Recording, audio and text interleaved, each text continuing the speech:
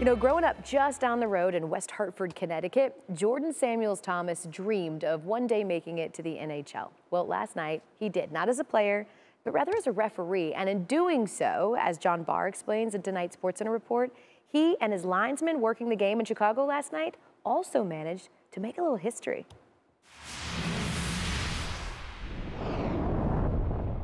When referee Jordan Samuels Thomas took the ice at the United Center in Chicago Thursday night, it wasn't simply his first game as an NHL referee. It was the first time ever that a black referee and linesman, Shandor Alphonso, were paired together on the ice.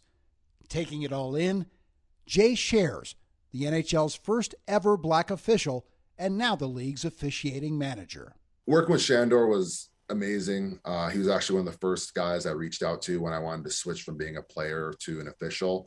So working with him last night was special.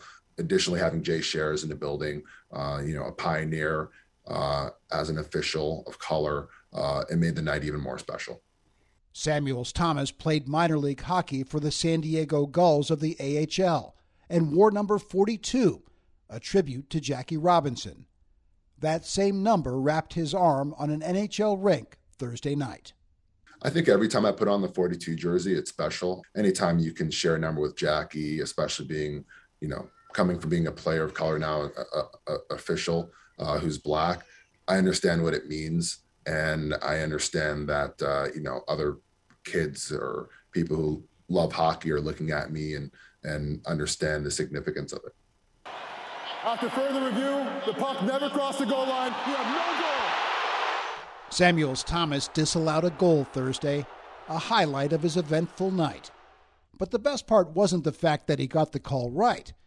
It was what was waiting for him when he stepped off the ice a proud wife, a proud mom, and two adorably proud daughters, all there to take in a moment that made NHL history. For ESPN, I'm John Barr.